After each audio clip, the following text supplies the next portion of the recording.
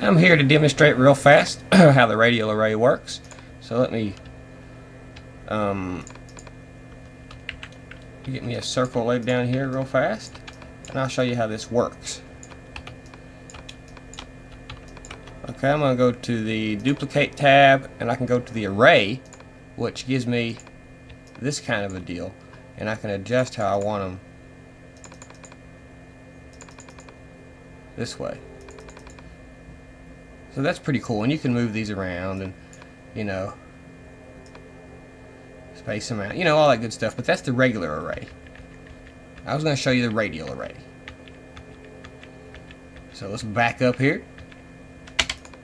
And let's click the um, radial array and you can also click the instance radial array but we're just going to do the radial array.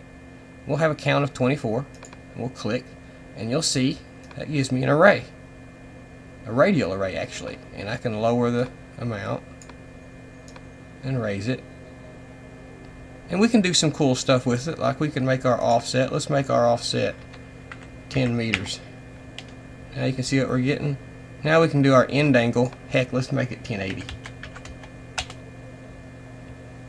Now we're getting this cool shape, and let's up our count to 100. Now you can see what we're getting. Pretty cool, huh?